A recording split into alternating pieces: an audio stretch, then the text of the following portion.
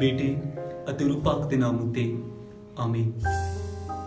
ਪ੍ਰਭੂ ਯਿਸੂ ਮਸੀਹ ਵਿੱਚ, ਪਿਆਰੀ ਭੈਣੋ ਅਤੇ ਭਰਾਓ, ਅੱਜ 15 ਮਈ ਨੂੰ ਪਾਕ ਕਲੀਸਿਆ, ਸੰਤ ਪੀਟਰ ਅਤੇ ਸੰਤਨੀ ਡਾਇਨੀਸ਼ੀਆ ਦੀ ਈਦ ਮਨਾਉਂਦੀ ਹੈ। ਇਹਨਾਂ ਦੋਹਾਂ ਸੰਤਾਂ ਨੇ ਆਪਣੇ ਮਸੀਹੀ ਵਿਸ਼ਵਾਸ ਦਾ ਕਰਕੇ ਆਪਣੀਆਂ ਜਾਨਾਂ ਕੁਰਬਾਨ ਕਰ ਦਿੱਤੀਆਂ। ਸੰਤ ਪੀਟਰ ਲੈਮਸਕਸ ਸ਼ਹਿਰ ਦੇ ਰਹਿਣ ਵਾਲੇ ਸਨ। ਇਹਨਾਂ ਦੇ ਵਿਸ਼ਵਾਸ ਦਾ ਕਰਕੇ ਇਹਨਾਂ ਨੂੰ ਰਾਜਾ ਡੇਸ਼ੀਅਨ ਦੇ ਸਮੇਂ, ਜਦੋਂ ਰਾਜਾ ਡੇਸ਼ੀਅਨ ਈਸਾਈਆਂ ਉਤੇ ਜ਼ੁਲਮ ਕਰ ਰਿਹਾ ਸੀ, ਤਾਂ ਉਸ ਸਮੇਂ ਸੰਤ ਪੀਟਰ ਨੂੰ ਬੰਦੀ ਬਣਾਇਆ ਗਿਆ। ਇਹਨਾਂ ਨੂੰ ਸੰਗਲਾਂ ਦੇ ਨਾਲ ਬੰਨ ਕੇ ਸ਼ਹਿਰ ਦੇ ਵਿੱਚੋਂ ਦੀ ਲੈ ਜਾਇਆ ਗਿਆ। ਇਹਨਾਂ ਨੂੰ ਮਾਰਿਆ ਗਿਆ ਅਤੇ ਇਹਨਾਂ ਦੀਆਂ ਹੱਡੀਆਂ ਨੂੰ ਤੋੜਿਆ ਗਿਆ। ਪਰ ਫਿਰ ਵੀ ਇਹਨਾਂ ਨੇ ਹੱਸਦੇ ਹੱਸਦੇ ਆਪਣੀਆਂ ਅੱਖਾਂ ਸਵਰਗ ਵੱਲ ਉਤਾਂ ਚੁੱਕੀਆਂ ਅਤੇ ਇਹ ਕਿਹਾ, ਐ ਪ੍ਰਭੂ ਯਿਸੂ, ਮੈਂ ਤੁਹਾਡਾ ਧੰਨਵਾਦ ਕਰਦਾ ਹਾਂ, ਕਿਉਂਕਿ ਤੂੰ ਮੈਨੂੰ ਸਬਰ ਦਿੱਤਾ ਹੈ ਅਤੇ ਮੈਨੂੰ ਇਹਨਾਂ ਜ਼ਾਲਮਾਂ ਦੇ ਉੱਤੇ ਜੇਤੂ ਬਣਾਇਆ ਹੈ। ਜਦੋਂ ਅਤਿਆਚਾਰ ਕਰਨ ਵਾਲਿਆਂ ਨੇ ਇਹ ਸਭ ਦੇਖਿਆ ਕਿ ਇੰਨੇ ਤਸੀਹਾਂ ਦੇਣ ਦਾ ਕਰਕੇ ਵੀ ਇਸ ਮਹਾਨ ਸੰਤ ਦੀ ਮੌਤ ਨਹੀਂ ਹੋ ਰਹੀ ਹੈ, ਤਾਂ ਉਹਨਾਂ ਨੇ ਉਸ ਦਾ ਸਿਰ ਕਲਮ ਕਰ ਦਿੱਤਾ।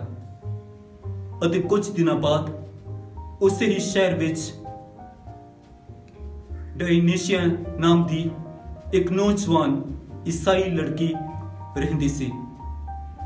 ਉਸ ਨੂੰ ਵੀ ਉਸ ਦਾ ਵਿਸ਼ਵਾਸ ਦਾ ਕਰਕੇ ਬੰਦੀ ਬਣਾਇਆ ਗਿਆ, ਕਿਉਂਕਿ ਉਸਨੇ ਨਿਕੋਮਾਕੁਸ, ਜਿਸ ਨੇ ਆਪਣਾ ਮਸੀਹੀ ਵਿਸ਼ਵਾਸ ਤਿਆਗ ਦਿੱਤਾ ਸੀ। ਉਸ ਦੇ ਮਸੀਹੀ ਵਿਸ਼ਵਾਸ ਤਿਆਗਣ ਦਾ ਕਰਕੇ ਉਸ ਦੇ ਪ੍ਰਤੀ ਆਪਣੀ ਆਵਾਜ਼ ਉਠਾਈ ਤੇ ਉਸ ਨੂੰ ਬੰਦੀ ਬਣਾ ਕੇ ਰਾਜਪਾਲ ਓਪਟੀਮੂਸ ਦੇ ਸਾਹਮਣੇ ਪੇਸ਼ ਕੀਤਾ ਗਿਆ। ਰਾਜਪਾਲ ਓਪਟੀਮੂਸ ਨੇ ਸੰਤਨੀ ਡਾਇਨੀਸ਼ੀਆ ਨੂੰ ਉਸ ਦਾ ਆਪਣਾ ਵਿਸ਼ਵਾਸ ਤਿਆਗਣ ਲਈ ਕਿਹਾ ਅਤੇ ਕੁਝ ਸੈਨਿਕਾਂ ਵੱਲੋਂ ਉਸ ਦਾ ਬਲਾਤਕਾਰ ਕਰਨ ਲਈ ਕਿਹਾ।